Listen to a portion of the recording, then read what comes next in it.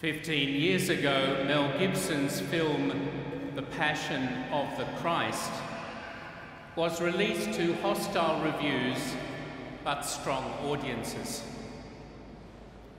It was soon the highest grossing Christian film of all time. One of the most moving moments in the film is when Mary, played by Maya Morgenstern, runs to meet her son, played by Jim Caviezel, on his way to the cross, and the two strengthen each other. Gibson uses poetic license to put on the suffering Christ's lips the words he speaks from his heavenly throne in today's second reading. See, Mother, how I make all things new. Gibson's transposition was theologically insightful that Christ's glory was in his passion, not just his rising and ascension. In our gospel today, Jesus begins his track to the cross, declaring, Now is the Son of Man glorified. Now, in his self emptying, humiliation, suffering, Sure, Jesus will rise victorious, but even then, with his wounds. Sure, he is the Lamb reigning from the heavenly throne, but he is also the Lamb that was slain, whose sacrifice takes away the sins of the world. It was in his suffering and his response to suffering that Jesus was glorified. This great mystery was one Jesus often taught, but his disciples rarely grasped. That only by spending our lives do we get them back. Only by pouring ourselves out are we filled up. Only by chancing humiliation will we be glorified. Only by serving have true authority. Only by doing what is right will we have a shot at happiness. It's only by taking up the deadening cross that Christians are brought to new life. Only by being sown as seeds dead in the ground that the church sprouts anew. Now Jesus joins this revelation of glory transfiguring darkness to his love commandment. What is glorious is not suffering itself, but suffering and still loving, enduring lovingly, loving patiently. No longer is his commandment just love one another, love your neighbour as yourself.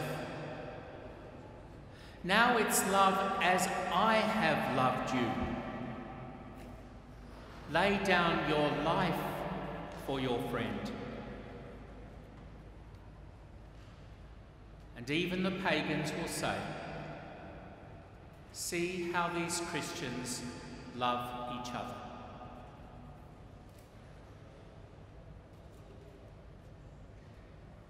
Dear neophytes, our newest Christians, today you give thanks for your journey to Easter and those who influenced it. Today we give thanks for the faith and courage that brought you to us.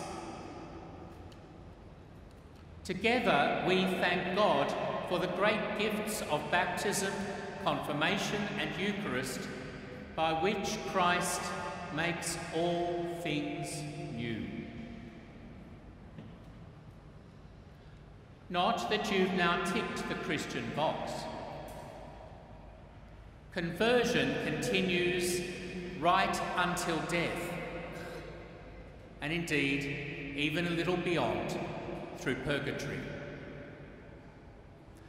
Faith must be enriched, worship become more fervent, service ever more generous. In today's first reading, we see that happening before our eyes. The Apostle Paul and the Bishop Barnabas make for Antioch, where we were first called Christians. Gathering the faithful along the way, telling of God's mighty deeds, and opening doors for the Gentiles. They visit struggling parishes, ordaining priests to carry on the ministries of word and sacrament, confirming those already Christians and converting yet to be Christians, putting fresh heart into them all, encouraging them to preserve, persevere in the faith. Already, the first Christians knew persecution.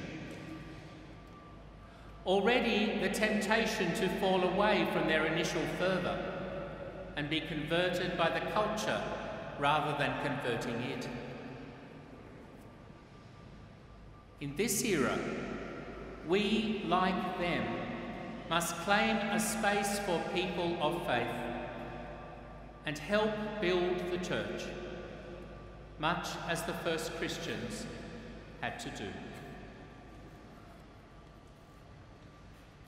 Those great theologians, the Beatles, taught all you need is love. You don't need to take up the cross. You don't need apostles and preachers, word and sacrament, and all the rest. All you need is love. And they'd be right, of course, if we really knew how to love. If divine charity truly informed our character and choices. If the author of love, God the Father himself, if the incarnation of love, God the Son in Jesus Christ, if the very Spirit of love, God the Holy Spirit, truly shaped our hearts, relationships, and actions. But we often fail to love. And even when we try, love has many counterfeits. The Beatles generation trivialised one night stands by calling them making love, and the result, a love child. Since then, people have been talking of loving ice cream, loving pet rabbits, loving football stars they've never met. We sentimentalise and banalise, disconnecting love from faith and reason, displacing it from virtues and values. And as the currency of love is devalued, so are the subjects and objects of our loving. So our society is all mixed up about marriage, family, even friendship. Unless a relationship is sexualized and solemnised, people think it's inconsequential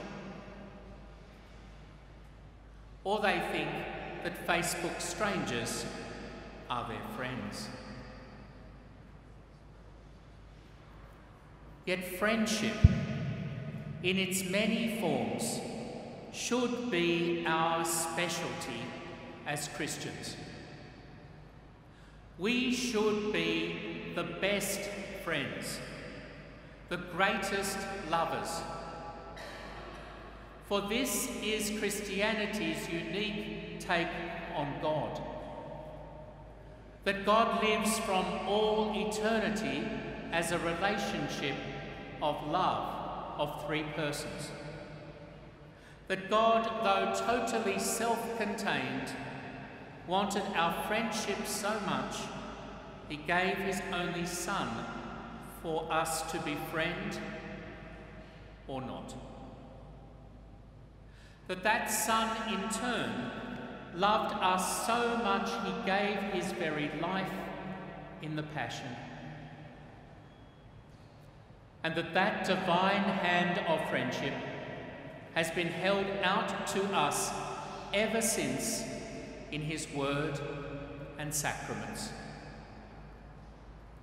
You might say the whole purpose of the church is to make human beings great lovers like God.